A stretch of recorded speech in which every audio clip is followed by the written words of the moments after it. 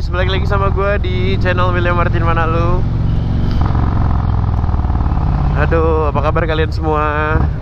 Maaf suara gue bindeng karena gue lagi nggak enak badan sebenarnya.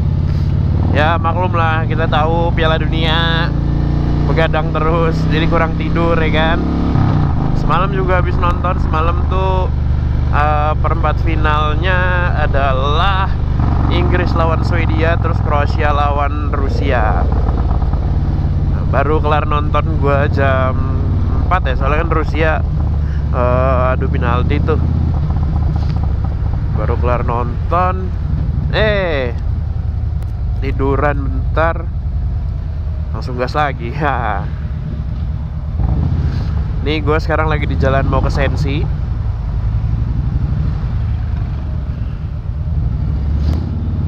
Nih gue sekalian mau ngetes uh, ram mount gue dari dulu belum pernah coba pakai ini jadi gue pengen ngetes. Katanya sih oke okay, soalnya gue perlu ini buat bulan Agustus. Kan gue bakalan riding ke Amerika.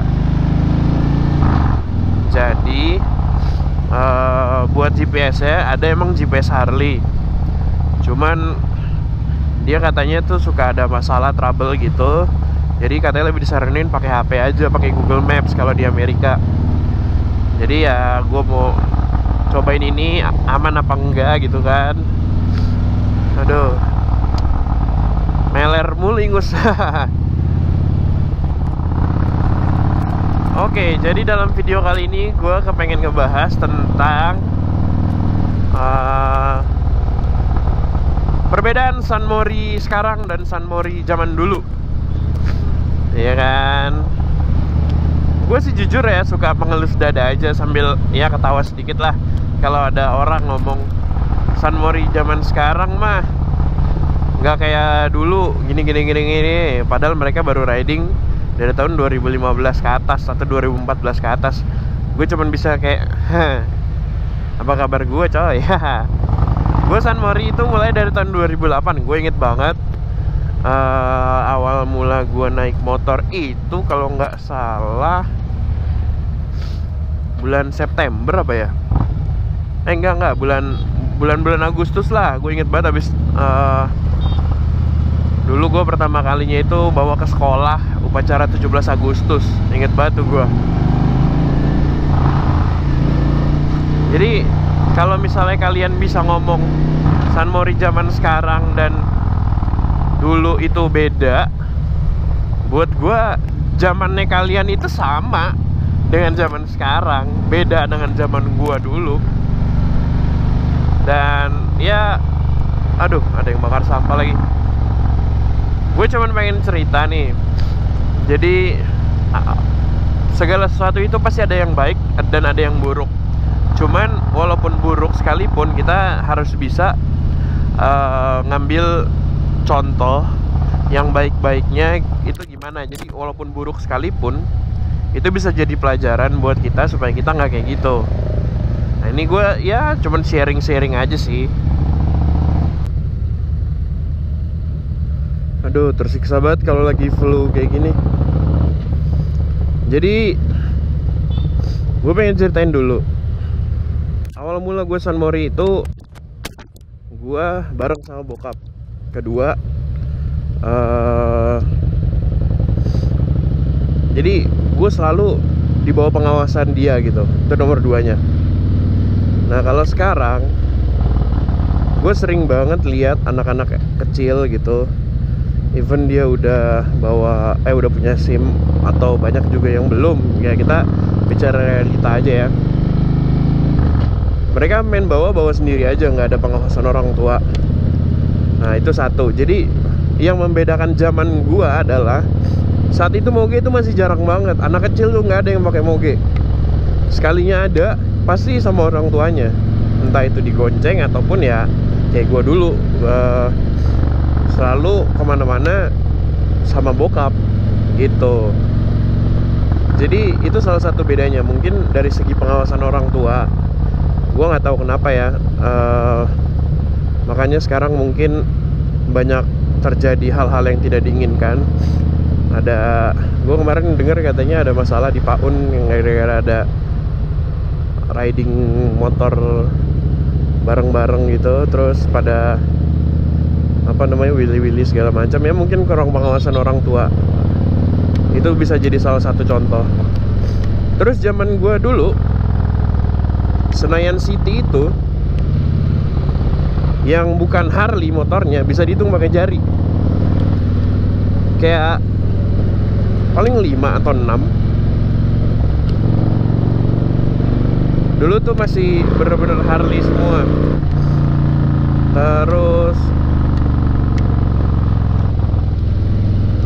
belum ada tuh namanya motovlog motovlogan ya iyalah. Dan yang dulu paling bikin gue menderita adalah susah banget nyari temen yang seumuran parah. Gua San Mori itu dulu selalu ikut bokap ngobrol sama temen bokap gua. Terus kalau mereka lagi ngobrol gue cuman duduk doang di pinggiran. Saya nggak punya temen karena emang pada saat itu nggak punya temen. Jadi ya suka kesepian lah. Cuman ada hikmahnya juga. Kayak gue sering ngobrol sama temen bokap gue ya kan? Nggak semua orang dewasa itu baik dan nggak semua orang dewasa itu buruk jadi semua pasti ada baik buruknya gitu kan. Dan karena gue sering ngobrol sama orang tua itu jadi gue bisa milih-milih mana yang baik yang baik diikutin. Terus yang jelek juga jangan langsung dibuang cuman disaring supaya kita nggak kayak gitu gitu kan. Itu salah satu hikmahnya. Jadi seperti yang gue bilang tadi segala sesuatu tuh pasti ada hikmah baik dan buruknya. Aduh meler mulu nih hidung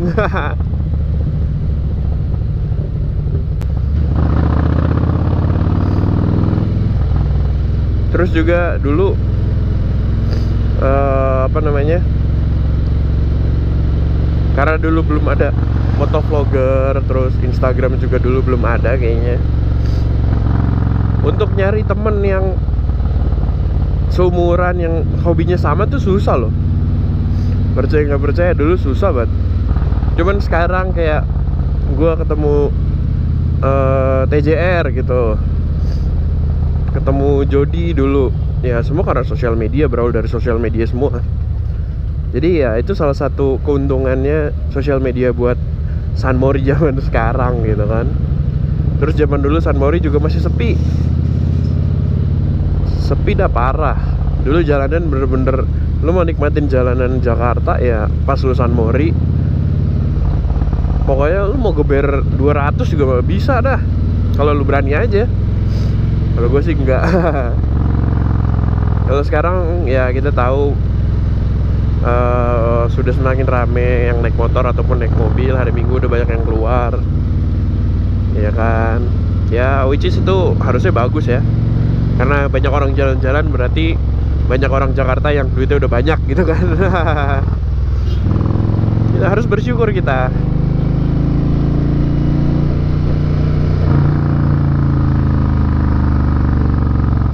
Gue di sini sih cuman kepengen ngasih tahu ke kalian kalau kalau misalkan ada orang yang ngomong ah San zaman dulu. Padahal mereka kayak baru cuman setahun dua tahun doang ya lah. Maaf maaf nih ya kalau gue ngomongnya teh kucing lo lo baru aja belagu banget apalagi kalau mereka udah ngomong sama dari zaman dulu tuh nggak kayak gini nggak kayak sekarang. Dulu lebih enak. Men yang namanya San Mori itu Sunday morning riding. Ya itu translatannya salah. Yang namanya San Mori itu lo adalah waktu lo nikmatin quality time sama motor lo gitu kan. Mau lo sama diganggu orang sekalipun kalau lo bisa nikmatin waktu dengan motor lo it's alright man itu hak orang dia mau bawa ugal-ugalan dia mau willy-willian. Itu emang dilarang cuman itu hak mereka gitu. Jadi balik lagi ke diri lu sendiri lu bisa nggak nikmatin waktu lu sama motor lu? Itu kalau dari perspektif gue ya. Jadi kalau ada orang bilang San Mori zaman sekarang tuh udah negatif aja terus beda sama dulu nggak juga kok. Dari hal negatif pun kita masih bisa ngambil hal positif ya supaya kita nggak kayak gitu itu kalau dari pandangan gue sih nggak tahu ya kalau misalnya ada yang eh, nggak uh, setuju ya silahkan gue nggak melarang karena gue juga nggak mau dilarang kalau gue nggak setuju sama orang Aduh. Eh, goyang-goyang stang gua. nah, apa nih? Aduh. Ternyata aman juga. Wah, sekarang jam 8.25, aku telat. Terbalik dulu di sini.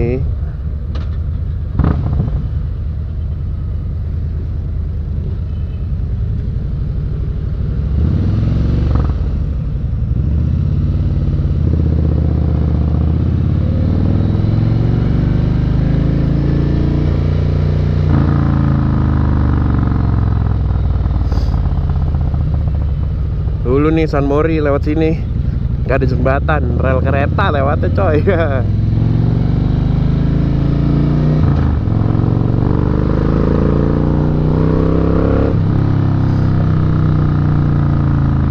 Jadi balik lagi. Menurut gue San Mori itu Harus tetap dibawa enak gitu. Kalau ada orang bilang San Mori negatif apa segala macam balik lagi ke diri kita masing-masing.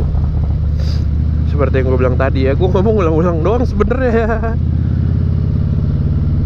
Karena kita bisa menikmati aja dan membawa hal yang yang bagus buat kita. Jadi jangan cuman uh, gaya-gayaan Willy segala macam cuman ya lu juga harus tahu kenapa lu San Mori. Buat apa lu San Mori? Gue San Mori buat nambah teman.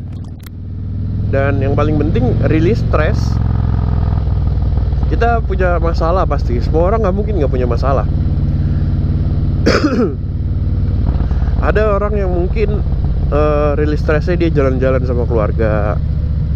Ya gue juga bisa kayak gitu sih ada yang misalnya dia minum minuman beralkohol.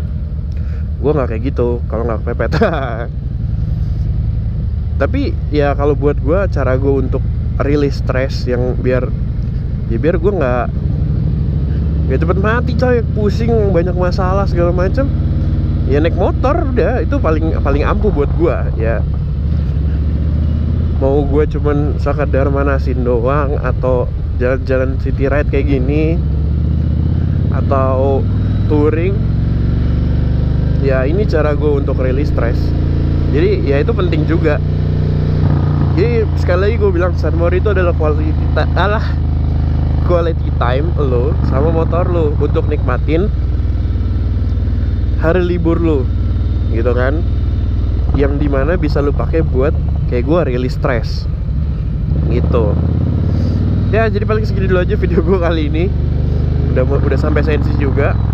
Uh, terima kasih buat yang udah nonton terima kasih yang sudah like comment share dan subscribe. Jangan lupa untuk selalu save right jangan lupa follow akun instagram gue di @williammartinmanalu dan @cipratana jangan lupa jangan lupa lah pokoknya gue lupa mau apa. Pokoknya just enjoy the ride and let win free your mind mana lu motovlog William Martin mana lu sign it out. Dadah